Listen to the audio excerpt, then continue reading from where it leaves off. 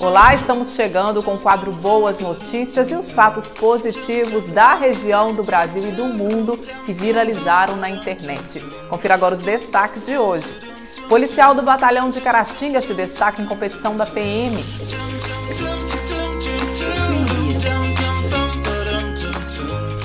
Pai tatua prótese para homenagear filha que teve a perna amputada.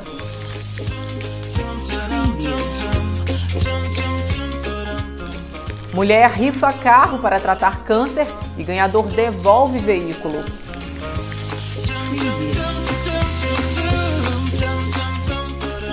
Ford transforma bilhões de garrafas PET em estofados automotivos.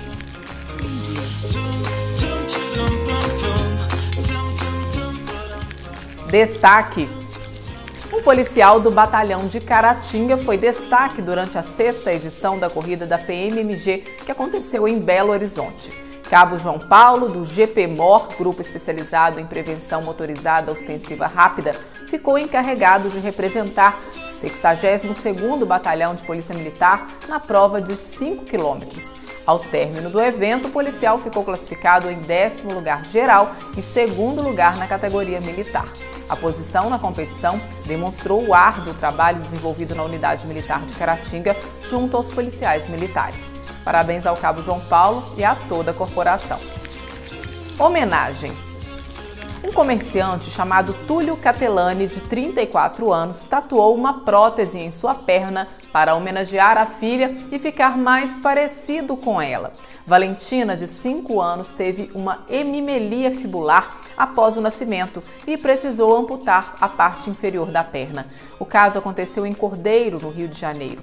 De acordo com o portal Razões para Acreditar, Túlio quis ficar parecido com a filha, como afirma. Somos todos iguais e esta é a mensagem que quero passar para minha filha. Agora estou contando uma nova história em parceria com minha menina por meio da minha própria pele, relatou.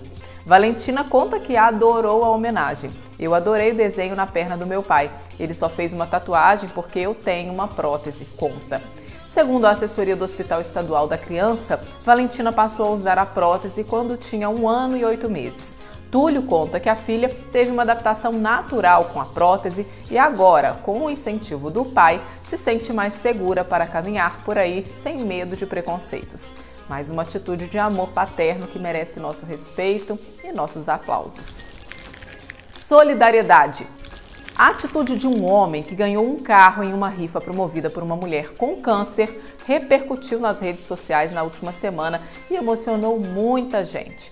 Margarete Mormu, moradora de Londrina, no norte do Paraná, descobriu um câncer no cérebro há cerca de dois meses e decidiu rifar seu próprio veículo, um Voyage 1.0 ano 2009, para arrecadar recursos para pagar a cirurgia necessária para a remoção dos tumores.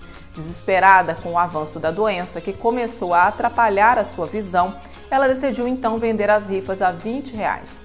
As rifas foram anunciadas com a ajuda de programas de TV e nas redes sociais. No sábado, dia 3 de agosto, foi anunciado o ganhador do prêmio, o serralheiro Célio Pereira de Carvalho, que ao receber a notícia teve uma atitude que emocionou Margarete. Ele devolveu o prêmio à mulher. A decisão foi anunciada no momento em que Margarete gravava um vídeo entregando o prêmio para o serralheiro. A atitude do homem emocionou a todos que acompanharam o drama vivido pela mulher, já que o carro era o único bem que ela tinha. Realmente uma atitude louvável. Sustentabilidade. A Ford encontrou uma maneira criativa de reciclar milhões de garrafas de plástico que poluem o planeta e reaproveitar na produção de veículos automotivos. Cada carro do seu modelo SUV EcoSport está equipado com estofados feitos com 470 garrafas de plástico recicladas.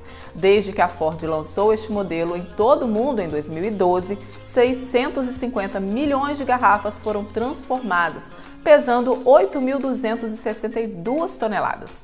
Não é novidade para a Ford reciclar garrafas para esse fim. Começaram há 20 anos no modelo Mondeo e agora a empresa recicla 1,2 milhões de garrafas em todo o mundo todos os anos. O procedimento consiste em esmagar as garrafas plásticas em pequenos flocos e depois aquecê-las a 260 graus Celsius. Após a fusão das peças, formam-se as fibras da largura de um único fio de cabelo humano. Essas fibras são enroladas e depois viram tecidos em estofados e tapetes. E essas foram as boas de hoje. Que a sua semana seja repleta de boas notícias. A gente se vê. Até lá!